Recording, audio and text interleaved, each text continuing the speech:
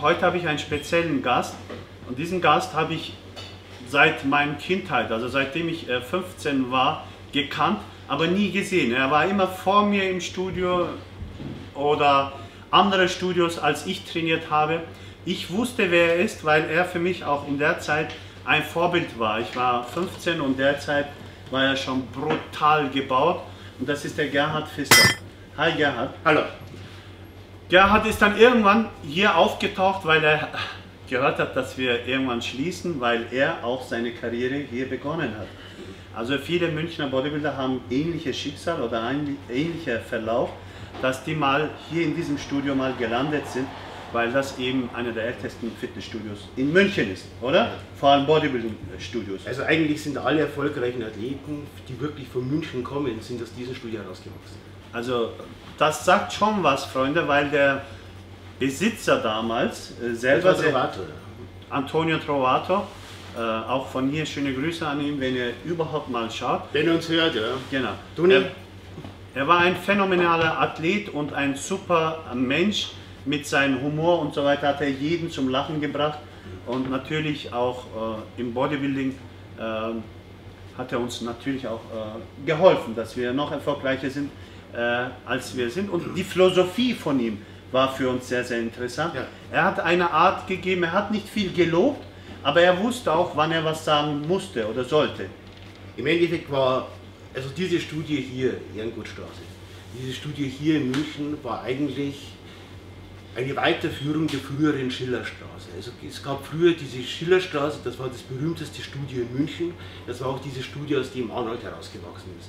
Das war das Studio, in dem Arnold in seiner Münchner Zeit trainiert hat. Die Studie ist dann, hat dann gewechselt in die Blumenstraße, dann gab es längere Zeit die Blumenstraße, das war am Viktualienmarkt und dann kam schließlich hier diese Ehrengutstraße, das Trovato übernommen hat. Und Trovato war einer dieser Alt-Bodybuilder, die noch aus den 60er und 70er Jahren herausgewachsen sind.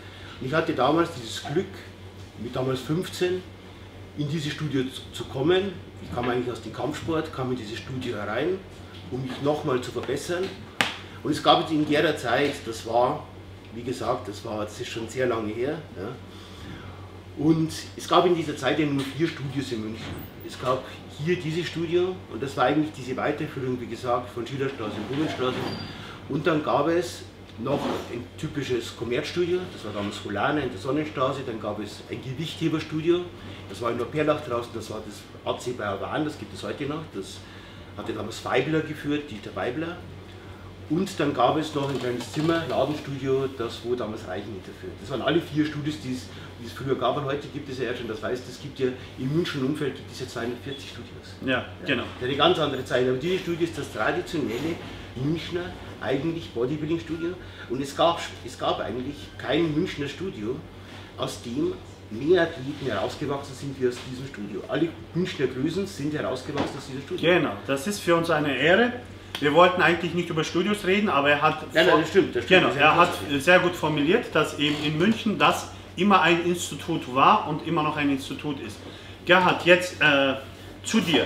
Ja. Äh, du warst ja einer der größten Hoffnungstalente in Deutschland. Ja. Nicht in München, sondern in Deutschland. Das kann man, glaube ich, so sagen. Ja. Das äh, habe ich nicht erfunden, sondern das ist, äh, ta äh, das ist äh, Tatsache. Mhm. wie war denn dein Werdegang? Ich bin eigentlich gekommen, ich bin gar nicht so weit gekommen. Ich habe eigentlich die letzten Meisterschaften, wo ich mitgemacht habe, das war mit 20, habe ich den letzten Wettkampf mitgemacht, da bin ich angetreten gegen Möller. Da bin ich damals, Ralf Möller, Freunde, wenn Möller heißt Ralf Möller. Da bin, ich damals, da bin ich damals mit 20, noch als Junior, ja. war damit noch Junior, bin ich in der Männerklasse gestartet, habe den Klassensieg gemacht und aber dann gegen Möller, der in hervorragender Form war, habe ich den Gesamtsieg nicht geschafft. Ein Jahr vorher war ich deutscher Meister Gesamtsieger mhm. bei den Junioren. Genau. Und ich war meines Wissens war ich der einzige Junior in der Geschichte der deutschen Meisterschaften, der als Junior, noch Junior mit 20, ich habe wie gesagt, ich habe mit 15 angefangen, ich habe mit 20 habe ich gerade immer 5 Jahre trainiert. Und ich bin gegen Athleten angetreten, die 18, 12, 15 Jahre trainiert haben. Und ich bin meines Wissens der einzige Athlet, der als Junior bei den Männern angetreten ist. Ich weiß es nicht, vielleicht kann mich da wer verbessern, aber meines Wissens gibt es da niemand. Ich habe mal mit Erich Jana darüber gesprochen und er hat gesagt, nein, du bist der Einzige, der wirklich als Junior bei den Männern gestartet ist auch erfolgreich. Das ist äh, sehr, sehr erfolgreich. Wenn man, wie er gesagt hat, nur fünf Jahre trainiert und die anderen 10 bis 15 Jahre trainieren, ist schon ein Riesenunterschied. Okay, Reinhard, äh, wir können das irgendwann in den nächsten Folgen noch, dich, äh, noch näher vorstellen. Ich möchte äh, heute mehr über Bodybuilding wissen von dir und deswegen, äh, was ist der Unterschied zwischen Bodybuilding und Gewichtheben? Weil äh, ich erkenne immer wieder, dass im Studios viele Menschen äh, Gewichtheben machen, aber wie Bodybuilder aussehen wollen. Mhm. Äh, äh, was ist deine Sicht in diese Richtung? Wie siehst du die Sache? Sind die Gewichte wirklich so wichtig oder ist es eher, äh, wenn man Bodybuilding macht, dass man Muskel als Element hernimmt, nicht das Gewicht? Bodybuilding und Gewichtheben sind zwei vollkommen verschiedene Sachen. Wir gehen ja nachher nach oben, dann kann ich das kurz mal an Gewichten demonstrieren. Wir machen dann ein paar Übungen durch, gehen ein paar Übungen durch. Die Sache ist die, ein Gewicht zu heben ist etwas vollkommen grundlegend anderes, wenn ich Bodybuilding mache. Ein Bodybuilder hebt keine Gewichte, sondern er benutzt Gewichte als Medium, um seinen Körper zu formen. Ja? Also zwischen Bodybuilding und Gewichtheben besteht ein riesiger Unterschied. Ich kann mich noch erinnern, ein alter Schüler von mir, das war Alfio, der auch mittlerweile sehr bekannt wurde. Das war in der Zeit, wo er noch mit Münzer trainierte, wo er Andreas Münzer noch lebte. Der war damals der Nachfolger als Trainer im Leistungszentrum Buse. Ja. Und die haben zusammen trainiert, mein früherer Schüler und Andi Münzer. Und da sagte damals Alfio, schau, ich mache die Übungen schwerer ja, wie Andi. Und ich schaute ihm zu und ich sage, aber eines hast, hast du immer noch nicht begriffen. Du hebst Gewichte und Andi macht Bodybuilding. Also Bodybuilding, du brauchst, du brauchst zum, zum Bodybuilding brauchst du Widerstand. Ja. Aber Bodybuilding ist eine Kunst für sich, wie ich meine Muskeln bewusst mit diesem Medium Gewicht, Seilzugmaschinen, wie auch immer, oder eigenen Körpergewicht bewusst forme. Also ein Bodybuilder arbeitet mit einer Modulationsspannung, so kann man das nennen. Er moduliert, bevor er hergeht und ein Gewicht hebt, geht er her und moduliert den Muskel in der Spannung. Ein ganz einfaches Beispiel, wenn zu mir einer sagt, spann mal den Bizeps an, dann sieht das so aus. Jetzt habe ich den Bizeps angespannt. Ja. Wenn ich mit dem Trizeps nicht dagegen halte, kann ich den Bizeps ja gar nicht anspannen. Um hier anzuspannen, um Spannung reinzukommen, muss ich hier dagegen halten. Jetzt kann ich hergehen und kann die Muskeln in einer bestimmten Art und Weise drehen, innerlich spüren und kann in dieser Bewegung mit einer Gewichtsführung kann ich die Bewegung ausführen.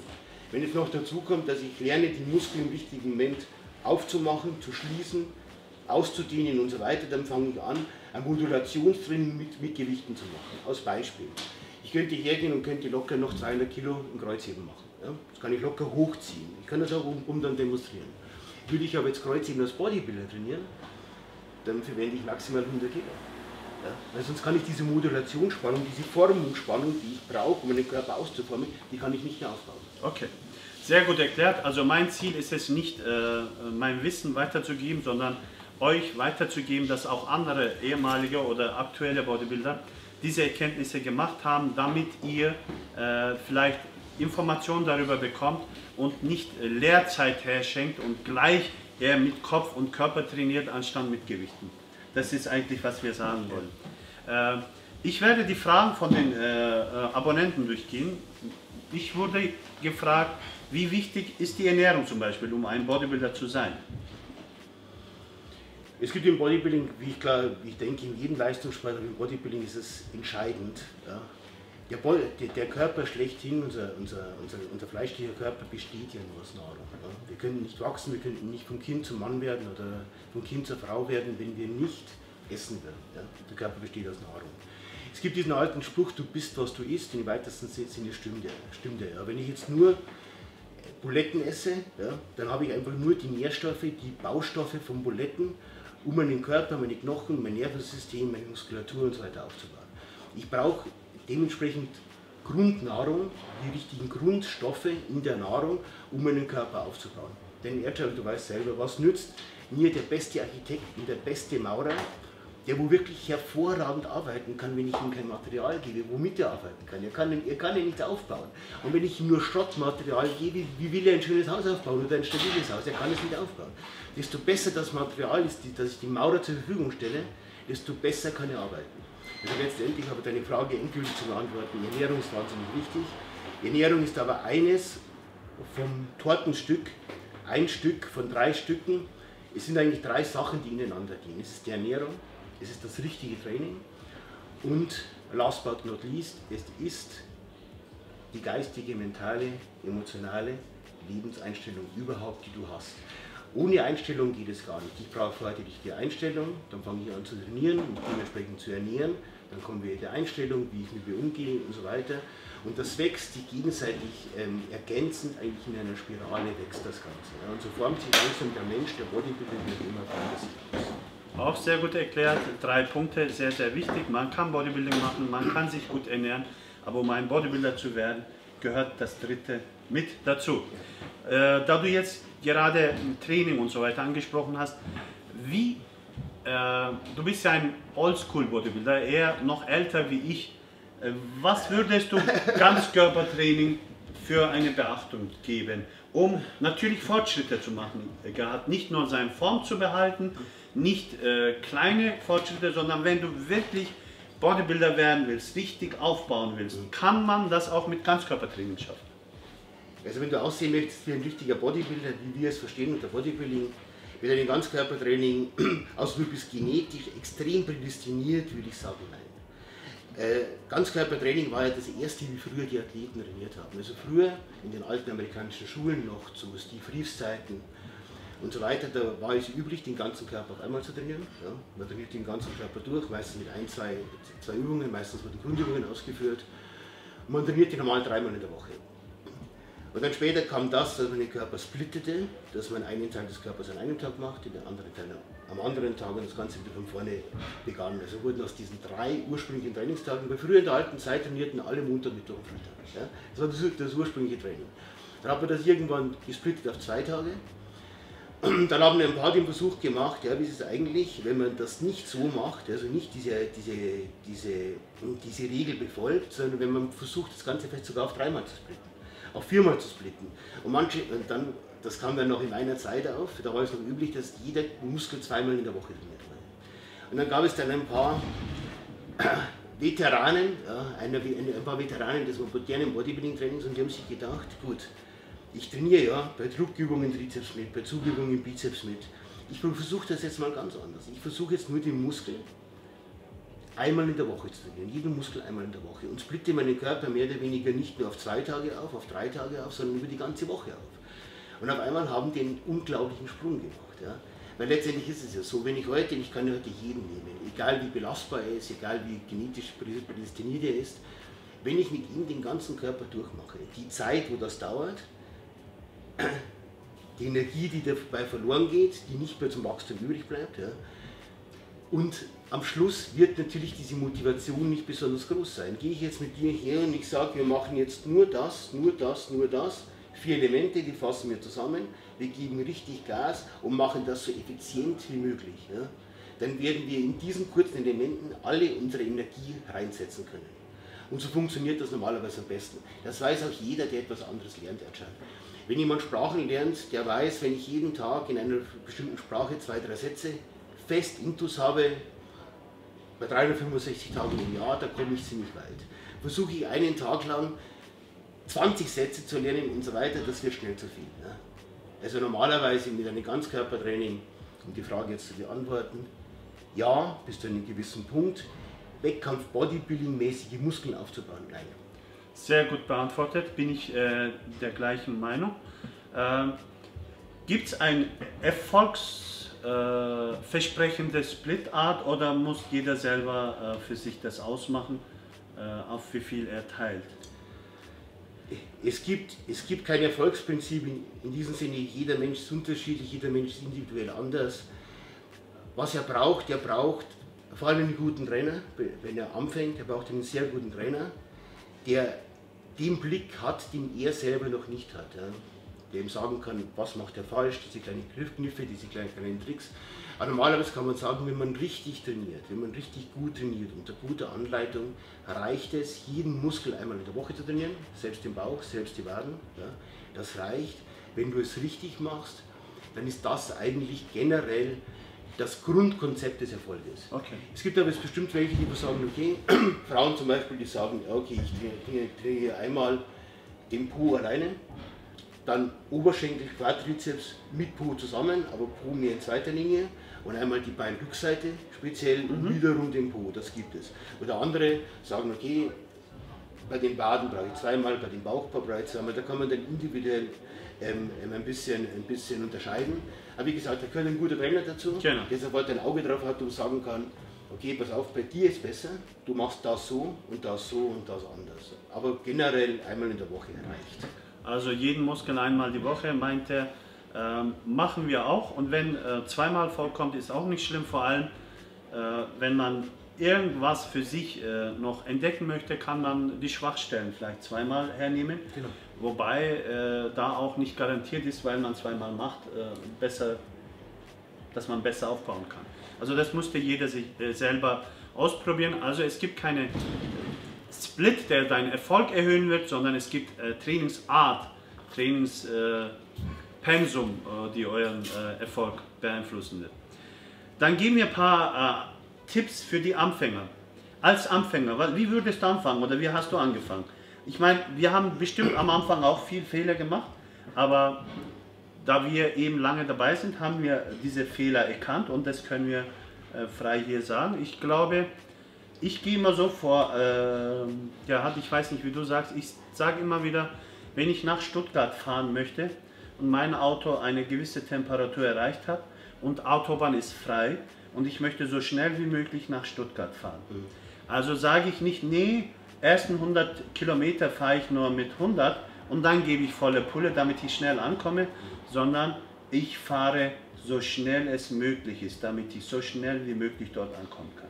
Also so ist meine Methode. Ich sage, ob Anfänger oder fortgeschrittener Athlet, man muss das Machbare machen, um Erfolg zu haben und sich selber keine Grenzen setzen, weil der oder das äh, da und dort gestanden ist. Wie denkst du da? Ich gebe geb den Großen und Ganzen gebe ich dir recht, ich sehe das ganz genauso. Aber man muss natürlich schauen, ähm, mit, diesem, mit, dieser, mit, dieser, mit diesem Konzept des Gasgebens, da muss man sehr gut aufpassen. Stell dir vor, jemand fährt hinter dir her und denkt sich, okay, Erdschan hat die Strecke frei, ja, und der fährt jetzt Erdschein hinterher. Es kann sein, dass Erdschein ein besseres Auto hat, ja, wenn bessere Maschine hat, dass er sein Fahrzeug besser beherrscht. Und es kann sein, wenn der andere sich jetzt dranhängt an Erdschein, dass er Probleme bekommt mitzuhalten, vielleicht bringt er sich sogar in Gefahr. Ja. Also es ist individuell immer verschieden, was man unter Gasgeben insgesamt versteht. Grundlegend kann man sagen, es ist so. Wenn ein Mensch, und das weißt du, Erdschein, das ist in allen Dingen so, wenn ich maximal viel esse, wenn ich maximal viel trainiere, wenn ich maximal viel was weiß ich was mache, dann bin ich immer an der Grenze, dass ich ausbrenne. Ich denke, dass das beste Prinzip ist, man belastet sich oder lässt sich durch, durch seinen Trainer in einen Bereich führen, wo man nicht gegen die Wand stößt. Also nicht im Leistungsbereich, nicht in der Diät, nicht gegen die Wand stößt. Mein Ding ist, ist, ist ein Konzept, das nenne ich, mache 70%, 100%. Was ich damit meine, ist das, ich werde in, in, einem Bereich von 70 bis 80 Prozent verbessere ich mich so weit, dass die 70 bis 80 Prozent irgendwann diesen früheren 100 Prozent entsprechen. Also ich gehe nicht zur Grenze. Denn jeder Athlet macht die Erfahrung, gehe ich jetzt immer im Training zur Grenze. Ich bekomme ganz extrem die Gefahr, dass ich ausbrenne.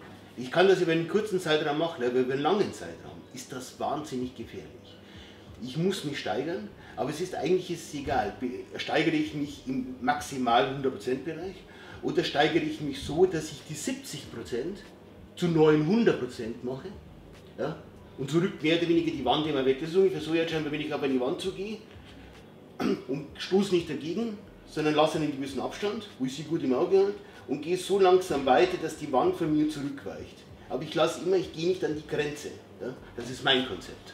Ähm, auch ein Konzept. Also ich äh, habe äh, so gemeint, dass natürlich jeder für seine Voraussetzung das Beste versuchen muss.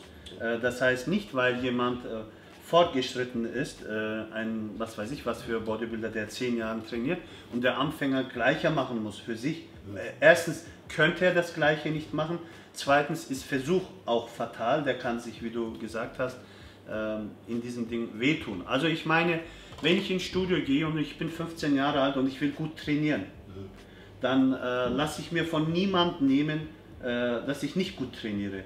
Äh, sag mal mal, ich kann 50 Kilo äh, bewegen und weil jemand gesagt hat, am Anfang drückt man nur 20 Kilo, das bringt in diesem Fall nichts. Das ist gleich. Genau. Also auch eine eigene äh, Art dabei zu entwickeln ist sehr, sehr wichtig für die Anfänger, die kommen rein. Äh, manche sagen, mach 20 Wiederholungen, manche sagen, mach 5 Minuten Pause. Also man muss auch selber sich entwickeln. Bodybuilding heißt ja, Body bilden, aber in diesem Ding musst du auch deinen Geist bilden, das, was dir gut tut. Natürlich. Oder? Da, das, da sind wir auch eins, glaube ich. Äh, dann nächste Frage. Aber ganz, aber ganz kurz noch dazu. Ähm, du weißt, die meisten deiner Schüler, wenigstens am Anfang, wissen das wirklich von innen raus selber wollen.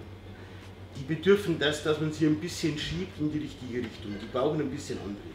Aber du wirst wahrscheinlich auch einen von zehn Schülern haben, der neigt dazu zu übertreiben. Den muss man eher ein bisschen einbremsen das meine ich. Auf jeden Fall. Also klar. jeder muss normalerweise dieses, dieses Maß finden. Und es drückt, finde ich, sehr gut ein alter Film von Arnold aus, einer seiner ersten. Und das war auch symbolisch gemeint. Und du kennst diesen Film mit Sicherheit, das war dieser Film Stay Hungry. Ja? Okay. Also bleib hungrig. Ja. Wenn du einen Menschen übersättigst, egal in was, in Training, in Ernährung, in Diät und so weiter, dann wird diese Neigung ja, aufzuhören, nicht mehr zu wollen, nicht mehr zu können, ja, einfach Kopf runter, ja, es geht nicht mehr, du wirst in diesem Punkt erreichen. Diesen Punkt erreiche ich bei jedem Menschen. Ich kann jeden Menschen so weit fordern, dass er fast kaputt geht. Und das ist ja die Aufgabe von uns als Trainer, dass wir einen Menschen durchaus antreiben, aber auch nicht übertreiben lassen. Und das war eigentlich das, was ich damit gemeint habe, schon. Ja, also dieses Bilanzplan, Ja, ja, diese genau. Differenzierung dafür. Genau, genau. Ich, ich habe sehr gut verstanden, wie du gemeint hast. Ich finde, äh, man kann äh, Energie äh, in falsche Richtung einsetzen oder in die richtige Richtung. Und man sollte, wenn man die Energie hat, dann sollte man in die richtige Richtung äh, einsetzen. Aber ich bin prinzipiell äh, gehabt, der liebt gut zu trainieren, der liebt äh, hart zu trainieren. Äh, wenn wir stärker werden wollen, innerlich wie äußerlich, müssen wir uns stark machen. Ich kann nicht spielen und stark werden. Unmöglich. Genau, unmöglich. und deswegen äh, habe ich das äh, so formuliert. Gerhard, äh, es ist eine Frage da, wie kann man am besten seine Muskeln spüren? Ich glaube, das müssen wir vorführen, weil jede Übung ist eine andere. Genau, genau. So, Gerhard, danke für deine Zeit. Ich äh, meine, wir haben ein bisschen analysiert. Wir müssen natürlich da auch üben, weil Gerhard ist für mich ein lebender Lexikon. Also wir können da sehr, sehr viel Wissen noch rausholen, eine Schatzkiste.